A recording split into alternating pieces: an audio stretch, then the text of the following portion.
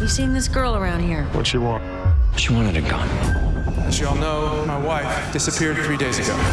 Amy lost a lot of blood in there, and then somebody mopped it up. Why'd they mop up the blood if they're trying to stage a crime scene? Where's your wife, Nick? You need to tell me. Whatever they found, I think it's safe to assume that it's very bad. In her own words, this man of mine may kill me. I was scared for you before, and now I'm petrified.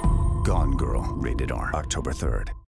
I'd finally realized I am frightened of my own husband. I would show you, as if you're doing a deposition, what to say, what not to say. A trained monkey? A trained monkey who doesn't get lethal injection. She's going to eat you alive. You assaulted her? It's not good enough for you? I hit her? It's not even close. Absolutely not. I never touched her.